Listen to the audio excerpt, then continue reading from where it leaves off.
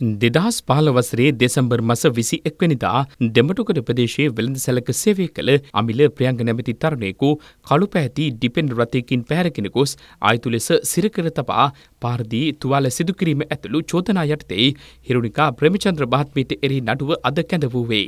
ඒ අනුව කොළඹ මහධිකරණ මිනිසුරු අමල් රන්රාජා මහතා නඩුවේ තීන්දුව ප්‍රකාශයට පත් කළා. එහිදී විත්තිකාර හිරුණිකා ප්‍රේමචන්ද්‍ර මහත්මිය චෝදනා දහ අටකට වරදකාරී කෙරුණා. එම එක් එක් චෝදනාවකට රුපියල් විසිදහස බැගින් දඩනීම කිරීමටද විනිසුරුවරයා නියෝග කළා.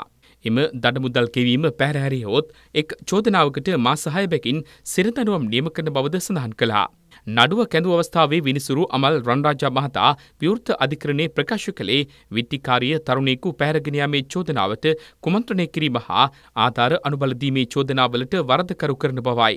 දඬුවම නියම කිරීමට පෙර අධිකරණය හමුවේ කරුණු දැක්වූ පැමිණිලි වෙනුවෙන් පෙනී සිටි නියෝජ්‍ය සොලිසිටර් ජෙනරාල් ජනක බණ්ඩාර මහතා මෙම පැහැරගෙන යාමේ සිද්ධිය සම්බන්ධයෙන් මීට පෙර අධිකරණය හමුවේ වරද පිළිගත් මෙම විත්තිකාරියගේ ආධාරකරුවන් අට දෙනෙකුට කොළඹ මහාධිකරණය විසින් අත්හිට වූ සිරදඬුවම් හා දඩමුදල් නියම කළ බව සිහිපත් කළා. විත්තිකාරිය සිදු කර ඇති වරදවල ස්වභාවය අනුව ඇයට බරපතල වැඩ සහිත වසර 69ක සිරදඬුවමක් නියම කිරීමට අධිකරණයට හැකියාව තිබෙන බවයි ඔහු පැවසුවේ. විත්තිකාරිය පාර්ලිමේන්තු මන්ත්‍රීවරීක වශයෙන් කටයුතු කරමින් ඇයගේ බලතල පාවිච්චි කොට සාමාන්‍ය වෙළඳ සැලක සේවය කර පුරවැසියෙකු පැහැරගෙන ගොස් පවුල් අරවුල් විසඳීමට කටයුතු කිරීම සුළුවෙන් තැකිය නොහැකි කරුණක් බවද ඔහු පෙන්වා දුන්නා. නියෝජ්‍ය සොලිසිටර් ජෙනරාල්වරයා තවදුරටත් පැවසුවේ මහජනයා විශ්වාසය තබා තෝරා ගන්නා ලද තැනැත්තියක් මේ ආකාරයෙන් කටයුතු කිරීම අනුමත කළ නොහැකි බවයි. මෙය ඉතා බරපතල කරුණක් වන අතර විත්තිකාරිය බන්ධනාගාරගත කළ යුතු වරදක් යැයි සඳහන් කළ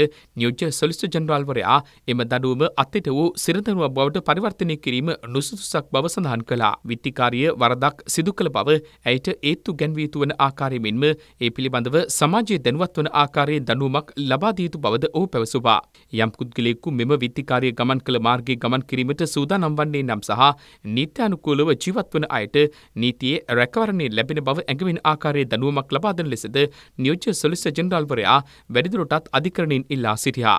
විත්තිකාර හිරුණිකා ප්‍රේමචන්ද්‍ර මහත්මිය වෙනුවෙන් පෙනී සිටි ජනාධිපති නීතිඥ අනුර මැද්දේකුඩ මහතා අධිකරණය හමුවේ කරුණු දක්වමින් කියා සිටියේ මෙම විත්තිකාරයට අවුරුදු 3 4 සහ 5 යන වයස්වලට අයත් කුඩා දරුවන් තුන්දෙනෙකු සිටින බවත් ඇය බන්ධනාගාරගත කරන ලැබුවහොත් එම දරුවන්ට දැඩි අගතියක් සිදුවන බවත් පෙන්වා දුන්නා.